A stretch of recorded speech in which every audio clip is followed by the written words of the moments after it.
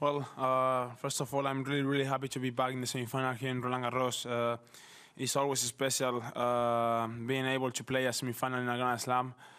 Uh, I'm really, really excited to uh, to play uh, on Friday against against Jannik again. Uh, really difficult challenge. Uh, I'm ready.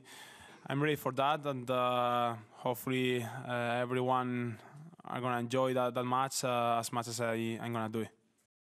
Well, uh, probably a little bit more uh, nerves before facing him. I'm, I'm, I'm not gonna lie. I mean, he probably is the, the, the one of the most difficult challenges that uh, we, we we can face in, in tennis right now. I think he's the best player in the world. Uh, well, I think no, it, is it is number one right now. So.